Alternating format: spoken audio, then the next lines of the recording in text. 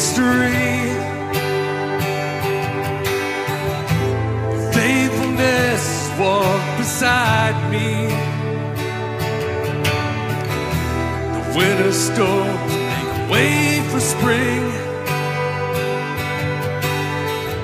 In every season, from where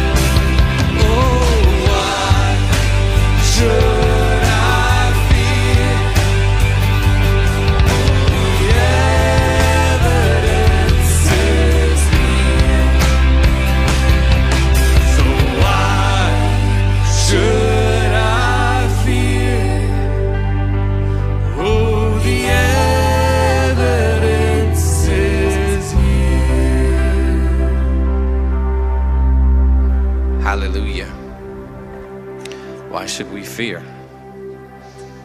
Praise the Lord. Welcome to Georgetown Christian Fellowship. Let's go before the Lord in prayer. Just offer up this time of worship. Hallelujah, Lord. Thank you for the blessing of getting together with your body. Lord, it's not a burden, it's a blessing. Lord, I pray for everything that's going to happen in this place today. Lord, for all the worship, we just dedicate this time to you. We take opportunity to sing, lift our hearts up to you, and engage our minds and our voices with you. Thank you so much for worship. Lord, I pray for even the, the teaching and all the fellowship, that it would just be clearly in you, led by you, through you, all about you. Thank you so much, God, for your faithfulness to us. But it's all for you, God. In Jesus' name, amen.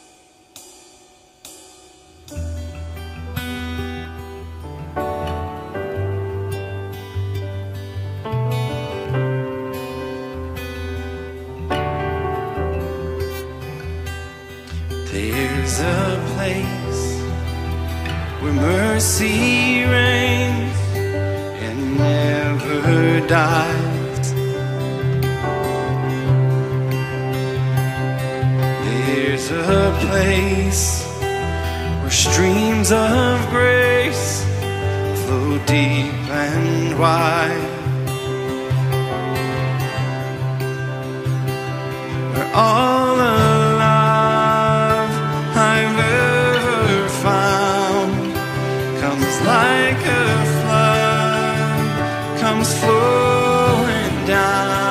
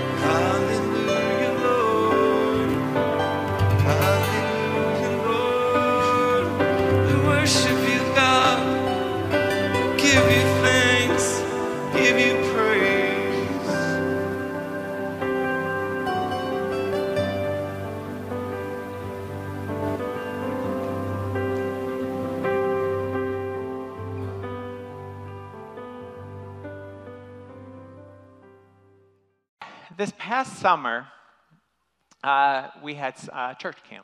And there's one part of church camp that really stands out to me when I think back about it. And the reason is is because I felt it really defines like what the body is here for. And it all started when my daughter was standing on the top of um, that platform. And you can't see it, but that's where that, like, um, the blob, is that what it is? Just the blob? Okay. Where the blob was underneath, okay? So she gets up there and she's standing on the edge of the platform, and, and the blob is like, what, 10 feet below her, something like that. So she's standing on the very edge for a while. All right. And, you know, she's trying to get up that, that, that you know, um, nerve to make that first step, you know, to just, it just takes one step, right? You know, and it's funny because all day we're walking all over, and we never even think about we're taking a step until that step is a big one. Okay? So she's standing up there, and you know, Rachel and I, you know, we're like, come on, you can do it. But what really started to touch me is so many people on the beach that morning kind of stopped what they were doing. And all of a sudden, I heard from different parts all over the beach, Come on, Naveen, you can do it. You know, you can do it. We believe in you, and all this kind of stuff. And all of this encouragement was going towards her. And you know, I'm one of those people that I, I, truly do believe it takes a village to raise a child. And that's what I felt in that moment. That it's like we're all coming together, realizing that it's like we want her to overcome this like fear of taking that step. And through the encouragement, you know, after about a minute or so, uh, she finally flung herself off the platform onto the blob. But what I really want to focus on this morning is that step. You know, that first step that so many of us at so many different parts of our life need to take.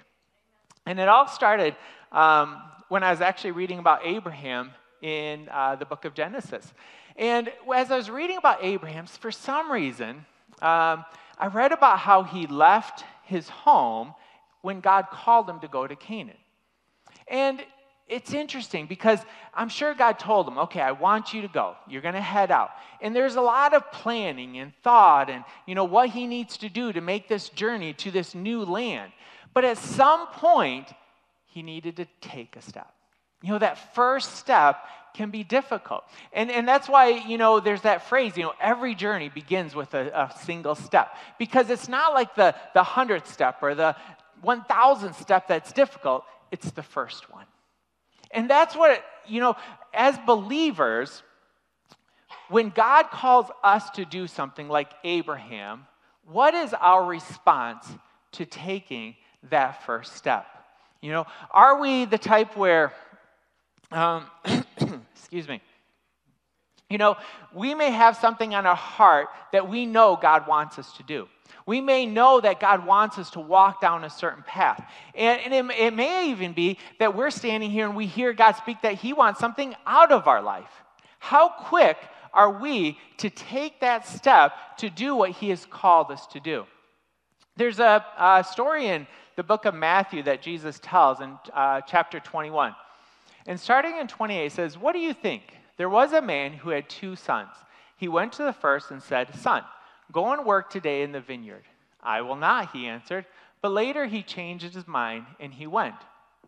Then the father went to the other son and said the same thing. He answered, I will, sir, but he did not go. Which of the two did, his fa- did what his father wanted? You see, the second son sounded like he had good intentions, right? But he didn't do what his father wanted. Good intentions can be great, but in the end, they really don't mean anything, do they? What really matters is if God asks us to do something, do we do it? You know, and I think that there's different levels that we can do this. You know, if he speaks to you and in your heart you feel like the Lord is calling you to do something, are you quick to do it? You're just like, yep, here I go. You know? Or some of us are quick to say yes, but like that second son, we never actually follow through. You know, we may be sitting here, maybe some of you this morning. You know, during praise and worship, the Lord put something on your heart. You know, He pressed something into you that you're like, yes, I need to do that. Or maybe something, oh, I, I shouldn't be doing that. And it's like, you know, right now we're like, yes, I'm going to go home and I'm going to do this. But yeah, we go home and it's kind of quickly fleeting from our mind. And we never actually follow through. There's us, and I have no idea why all these are labeled number one. But, anyways, maybe because they're all important. They're equally important. There we go. Saved that one. Phew. All right. Maybe some of us, uh, you know, uh, do you say yes, but then you spend so much time thinking about it that it just passes by? For me, I feel like this might be where more I'm at. I think about things. You know, I think I've mentioned that probably too many times. But, anyways, you're like, yes, Lord, I'll do it. All right, let's get a paper and pencil and then we'll pray about it. And a year later, you're at bullet point, you know, 48, you know, and you never actually follow through with what it is that God called you to do. And then there's some of us, like number one, are you set in your ways, and any nudging from the Holy Spirit to take a, uh, for you to take a step is completely ignored by you? And unfortunately, there's some of us he- that are here today that are in that position, where, in all honesty, you're not even going to hear the nudging. You're not going to hear the voice because you're not even open to it. You know, and that's an area that you need to address. You know, because if you are going through your life and you're like, boy, past year, I've never felt any inkling from the Holy Spirit to do anything, I would start praying. Because I do believe the Holy Spirit is speaking to us to do things, to, to encourage people. And I'm not talking about like, you know, going on a missionary trip. I'm talking about the simple things. You know, are you willing to simply like pay for the person's groceries in front of you if the Lord speaks it on your heart? You know, are you willing to go up to that person today and, and just because you feel like, I, I want to encourage that person. You know, um, I, I remember one some of my daughters, you know, it's like one time in church, she just felt this nudging of the Holy Spirit. Go tell that woman that God loves her. She had no idea why. You know, but it's like, I'm not talking necessarily about these huge things like go, like, you know, change the entire world.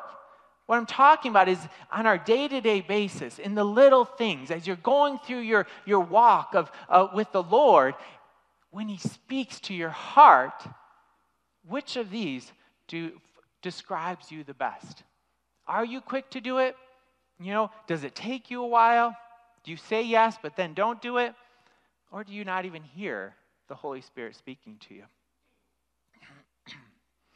Throughout the Bible, we read about a lot of men and women you know, um, where God speaks to them, calls them to do something. Some of them are reluctant, you know. We read about all kinds of people in the Bible that are reluctant to do something, you know. One thing that's interesting everybody in the Bible that we would consider like a hero in the faith, anybody like since Christ died up to this time that we would consider a hero in the faith, at some point was like, all right, I'll do it. They may have felt like, I can't do this. This isn't in my comfort zone. You know, this isn't who I am. This isn't what I should be doing. They may have felt all of those things, you know, but at some point they were like, the Lord's calling me, so I'm going to take a step. And here's what's interesting about this. In my reading of the Bible and just studying different people, God is not all that concerned with our comfort level in following Him. You know, how I feel about carrying out that task isn't all that important to him. What he is honestly just looking for is you to say yes and to take that step quick. You know, and the, I would almost argue that the things that, that people have done that have been the greatest things have been things that they were like, oh, I can't do this. And I think that's when God enjoys it the most because then there's no way for you to take credit. There's no way for you to have pride when you're like, I could not have done this on my own. You know, and that's where God wants us to be, where we're at this position of being dependent on Him. Um, there's a missionary named Gladys Aylward who lived from 1902 to 19. Uh, somebody knows who she is. Uh, to 1970. Incredible woman to study. She's a little lady. And there's a funny story where, well, maybe not funny, but interesting story, where she was in China. God called her to go to China as a missionary. And at one point, there was a prison in China, you know, terrible prison. A riot uh, broke out in this prison. It was a men's prison. And it was so bad that none of the guards would go into the midst of this riot, okay? And so they call her. How they made that call, I don't know. But they called Gladys. and they're like, go into that riot and get everything under control. How would you feel? You know? And then, here, I want to get this right. I hope I wrote that down. Um, because the guard, oh, because she asked, like, well, why me? Why should I go? And he goes, uh, You preach that those who trust in God should have no fear. Makes me second guess what I'm saying up here. So, what'd she do? She went into the riot. She calmed it all down. She got everybody back into their cells where they're supposed to be. Okay? Her story is very interesting because when she grew up as a child, nobody thought that would ever be her. Nobody. She grew up incredibly poor. Okay? And she had no means to get from where she was to China as a missionary. She, she felt that stir of God in her heart. You know, she knew that's what God wanted her to do. And so she went to different missionary societies. They said, no. You know, nope, we don't see that in you. Okay? So one day, she's reading the book of Nehemiah, and she reads Nehemiah chapter 1. And she reads, the, and as she's reading it, she reads how Nehemiah's heart broke for, for Jerusalem, and he wanted to go back there and make a difference. And her heart, like, she had compassion for him because she felt that same pull. He was working for the king, he couldn't just up and leave, okay? He, he, he, he needed to, like, complete where he was in his place in society at that point, okay? So she felt that connection to him. And so she then she moves on to chapter 2 and she's like he went. And it made a huge difference to her. And this is what's neat. At that moment, as if someone was in the room, a voice said, Gladys Aylward, is Nehemiah's God your God? Yes, of course, she replied. Then do what Nehemiah did and go. But I am not Nehemiah. No, but most assuredly, I am his God. That's powerful. She went on to say later on, I wasn't God's first choice for what I've done for China. I don't know who it was. It must have been a man, a well educated man. I don't know what happened. Perhaps he died, perhaps he wasn't willing. And God looked down and saw Gladys Aylward, and God said, Well, she's willing. When God looks down at you, does he say the same thing? That's what I want God to look down and see me as. You know? But there's something about this story that really struck me. And that's that part where it's like, is Nehemiah's God your God? And that really got me thinking. The God who like spoke the universe into existence by a word, let there be light. That voice is the exact same voice that tells you to go encourage that person. You know, it's interesting. I like wrote this like message, like, you know, this part of it at least a while ago. And I'm literally sitting in praise and worship today, you know? And, I, and, I'm, and, and for some reason, the Lord speaks to me. I even stopped like, like singing because I, I got a little bit choked up. And God, could because it was like God spoke to me and said, I gave you this message. Speak it with confidence. And like, I, I, had, I had wrote this down.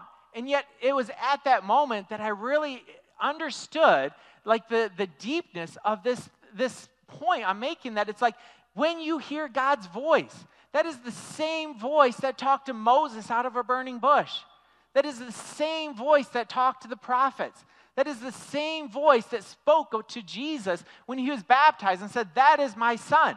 That same voice is the one you hear. That's powerful. That means something because behind that voice is all the power there, that there could possibly be. So when that voice speaks to you, understand the power that is behind that voice and who you think you are, your own limitations and your own weaknesses, those melt away. Because what is our strength compared to the power of that voice? That's what we need to understand. That's what we need to walk in. To understand, to truly grasp that we are God's instrument. And when He calls us to do something, that we have that power, not our power, but the power of that voice behind us to do what He has called us to do. Gladys Aylward had nothing about her that somebody would have looked at her and said, You're going to accomplish great things in China. But God did. Why? Only because she was willing. And she was willing to take a step when God said, Step, go, do that, don't do that. Are we quick to listen? Are we quick to follow that voice? She went on to say, if God has called you to China or any other place, and you are sure in your heart, let nothing deter you. Remember, it is God who has called you, and it is the same as when he called Moses or Samuel. Let me ask a tough question Do you want to take a step when God calls you? And the, the key thing that I want to stress, stressors want. Have you ever thought about that? Do you want to follow God's voice? Imagine this for a minute. Imagine God is a conference room, okay? Sorry if I think oddly, but you know, it is what it is. God is a conference room, and He calls you in for a meeting one day, okay? I have an object lesson. You're going to love this. I went all out. He hands you an envelope God's plan for your life. He puts it on the table, slides it across the table. It's yours, it's your plan, or it's the plan God has for you. But he says something interesting. There's a, there's a catch to this. If you open the envelope, you have to do it. What's your first thought right now? Honestly. Are you, are you excited to like rip it open and find out what's God's plan for me? Or do you pause and you think, do I want God's plan for me? You see, imagine Joseph. If he was went to that conference room, envelope was, uh, slid across the table. Joseph, here's the plan you I have for you. Joseph opens it up and he's like, um, God, uh, what, what's this about slavery? What, what is this about prison? You know, what about Jonah? He opens up and he's like, a big fish? Why would I be in a big fish? You know? Paul, Paul probably has a book. He's like flipping through, like, beating, floggings, prison. Like, here's your envelope. Do you want to follow God's plan for your life? I think it's an interesting question, but an honest question that we actually need to address. Because God's plan can be hard, it's difficult. There's no getting around that. You know, we read in the Bible about all these people that were that that took that step, followed God's plan, and we're like, I don't really want that life. That looks really hard. You know, because I, I like to be liked. I don't really want people to hate me. And although it's never happened to me, I don't want somebody to kill me. You know? These things aren't things that we look forward to. You know? But yet God's plan is his plan. You see, the key to that envelope, it's not mine. It's not my plan.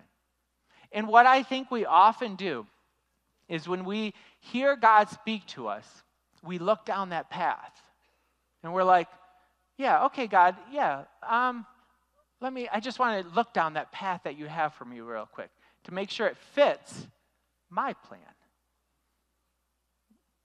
You see, what is our priority? God's plan or our plan? Because most likely, they don't match. Because our plan is generally going to be, honestly, highly selfish. You know, it's going to be the, the easy road the easy route. You know, it's going to be filled with, you know, blessings upon blessings upon blessings.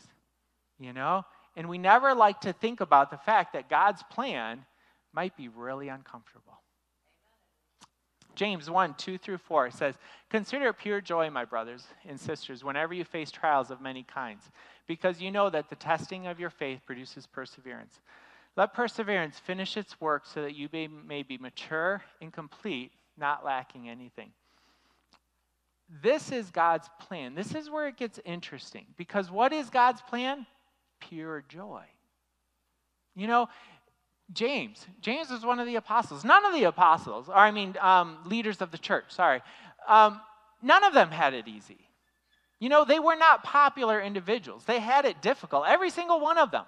Okay? Pretty much all of them were like martyred. Okay? But yet, what does he say? Pure joy when you face trials of many kinds.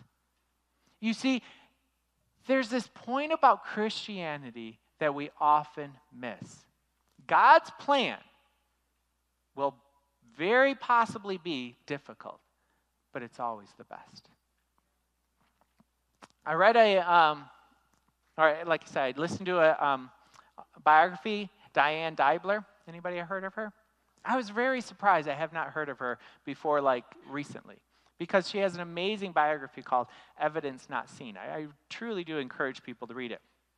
But um, in 1938, um, she arrived in Papua New Guinea with her, her husband. They actually arrived in 1938 on their first anniversary when she was 21 years old.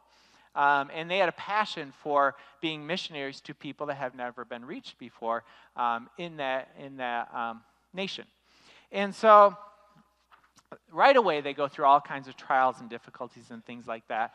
But in 1941, uh, due to World War II, the Japanese eventually took over um, that area.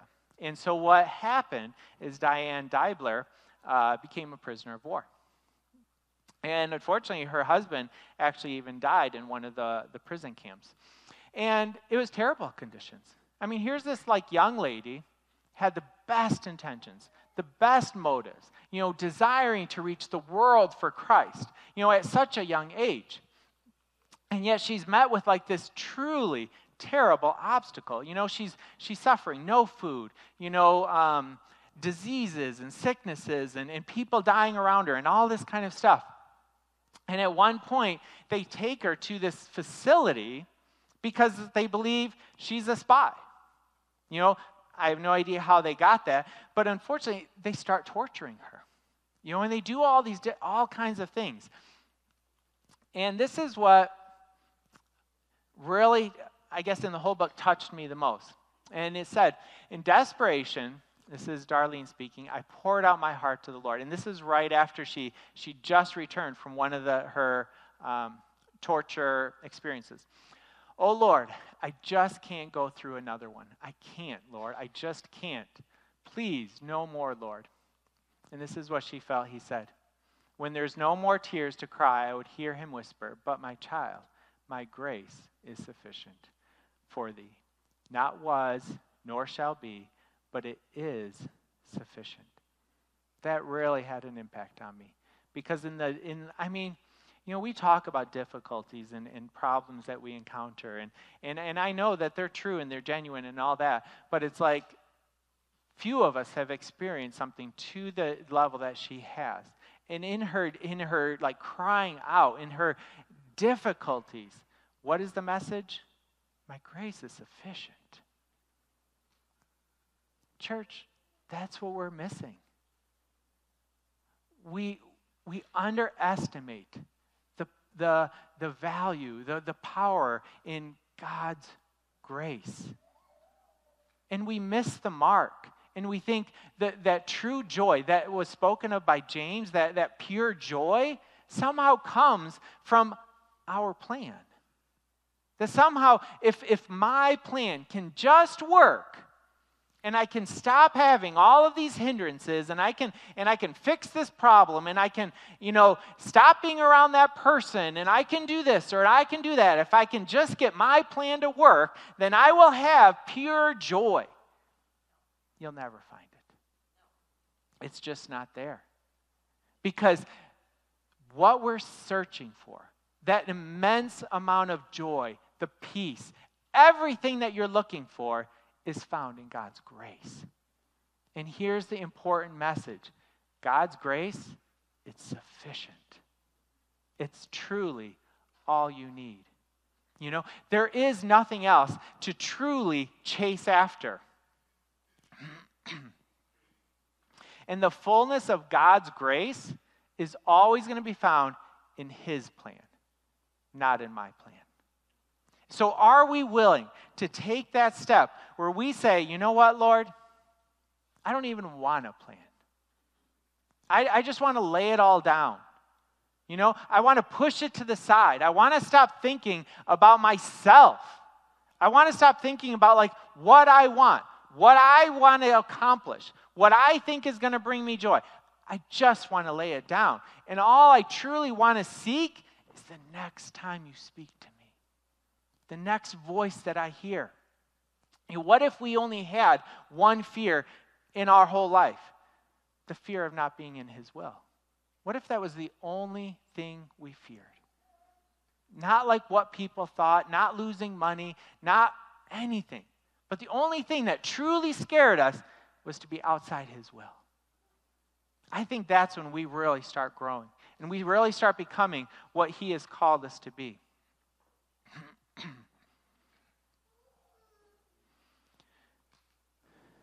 In John 10 27, it says, My sheep hear my voice, and I know them, and they follow me. It's simple. We are God's, we belong to Him. You know, what He is looking for is this to hear his voice and just start following right away. Just go. Don't think about it. You know, I mean, and I'm not saying like, you know, there's never a point where you don't plan or, you know, if God says, you know, go to China, it doesn't mean tomorrow you book a flight. I'm not saying that. But what I am saying is that we're quick to be like, God, what do you want? That's what I'll do. Like, like Gladys Aylward, who is simply willing, not the most qualified, just willing you know, in my life, as, you, as most of you know, I'm a teacher. You want to know? I had no desire to be a teacher. I remember when I was a teenager. I remember, you know, kneeling at my bed praying. And, you know, because I really wanted to seek after God. There was a point where, you know, I was, you know, trying to figure out, well, what job would like pay the most money or, or something like that. Or, you know, but as I grew in the Lord, I, I realized, like, you know what? What I really want is to follow the Lord. So I really started to pray and, and seek after Him and find out, like, what is His calling on my life? And I remember when God, you know, said, like, you know, or, or put on my heart to become a teacher, I was like, um, no, you know, like, and it wasn't like, you know, I, I wanted to be like you know, disobedient. It was that I wasn't, I didn't see myself being good at it at all. I had no skills. Okay, let me give you a quiz. It's just one question, it's not hard. I go up to somebody. I say, I'm a special ed teacher. They say, Oh, you must be, what do you think? Oh, somebody had, no, not so nice, but um, patient. I heard somebody say it. That's what almost everybody says. Oh, you must be so patient. You realize as a teenager, I had no patience. No patience. I was not a patient person. Okay? I was honestly, I would say, very different than what you see as me right now, truthfully. But here's what's interesting God did not start putting these traits and characteristics of a teacher into me until that day when I was like, all right, Lord, I'll just do it. That's when He equipped me. It wasn't before. I think He first wants us to just say yes, to not worry about, is that my personality? Is that what I should do? Is that where I'm gifted in? Just wants you to say yes when He puts something in your heart to do. Would anybody look at this and say, that looks beautiful? Probably not. Okay? Um, what's fascinating about this message is I didn't really talk to Rachel too much about it. And yet, this week, what was interesting is God was kind of speaking the same message to her. Isn't that fascinating? So she comes to me one day and she like shows me this picture. And what's interesting about this picture, I don't know, maybe some of you have seen it, but it looks like a mess, doesn't it? Okay? When we look at God's plan for our life, in all honesty, this is kind of what it looks like sometimes, doesn't it? We're like, I see no sense in this. You know, I keep listening, I keep following the Lord, but I don't see it making sense. You know, this is the other side. And I think the message from this, and, and kind of as Rachel explained it, is that this is what we see. But someday, if we truly follow God's voice and we listen to Him and we trust Him and we walk a walk of faith, I truly believe one day we'll get to heaven and we'll be like, wow, now I get it. You don't have to get it right now, it doesn't need to make sense. I don't even think God really is expecting us to get it because His ways are way above our ways. You know, His understanding is so far beyond our understanding. We wouldn't grasp what He's doing. Because this beautiful tapestry is literally what He's doing in all of our lives or desires to do it. How He does it with all of us throughout the world, even, is so far beyond us. But God is weaving, He's weaving away. And He's saying, I need you to go do that. Hey, hey, I got a job for you. I need you to go do that. Are you taking a step? Are you willing to take a step? When God shows you his plans, are you willing to open that envelope and be like, whatever it is, Lord, I don't care. I just want to be willing. In Matthew 4 18 through 20, says, As Jesus was walking beside the Sea of Galilee, he saw two brothers, Simon called Peter and his brother Andrew. They're casting a net um, into the lake, for they were fishermen. Come, follow me, Jesus said, and I will send you out to fish for people. At once, they left their nets and followed him. The two words that I want to apply to me is at once. That's how I want God to look at me. Honestly, am I there? Probably not. I, I kind of probably got to stop thinking so much, you know? That's, that's my downfall, I'll be honest. But you know that you have some downfall too, don't you? Something that you need to kind of look at and you realize, I need to change that. I need to work on that. You know? But what I truly believe is that through this week, as you go about your week, if you truly are seeking after God and you're like listening for his voice, desiring to hear his voice, I think he's going to put things on your heart to do. Let's be a church that those two words apply to at once. At once, they did it. At once. I know I want that to be me, and I know that, that in your heart, you want that to be you. So as we go forward, God's plan. God's plan, when you start following that, always remember it's sufficient. God's plan will always be sufficient. And that is what we're truly seeking after in our lives is to live a life for him. Nobody in the Bible, you know, the people I mentioned, Joseph and, and Paul and, and Jonah, I've never read about any individual that regretted a difficult walk. They all, they all rejoiced in it. You know, they were thrilled about the suffering, the difficulties, the trials. They rejoiced in it because it brought them closer to God. And that's where we need to understand is that closeness to God is truly what is going to fulfill you. When you truly grasp that his grace is literally all you need. And that's always going to be fully found in His plan, not in your plan.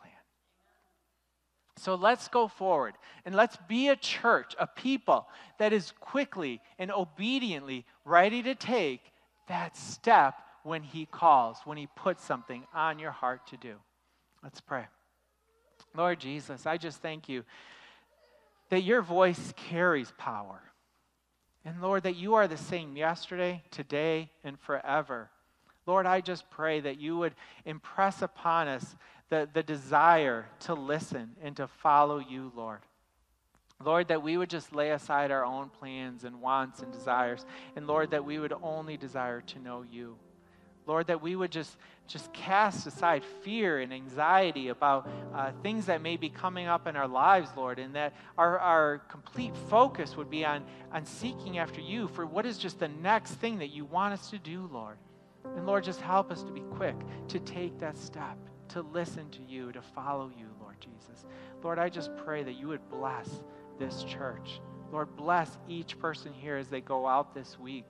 And Lord, that we would just have a renewed focus and desire and passion for living for you and, and to carry your gospel into this world and to tell people about your amazing grace, Lord. And we just pray this in your name. I hope you've enjoyed this. To hear other messages, go to facebook.com forward slash GCF Church or youtube.com forward slash GCF Church. You may also follow Georgetown Christian Fellowship with our app. Go to either iOS or the Play Store for Android and search for WordServer. That's one word, WordServer, and install the free application. There you will get all of our messages, including streaming capability.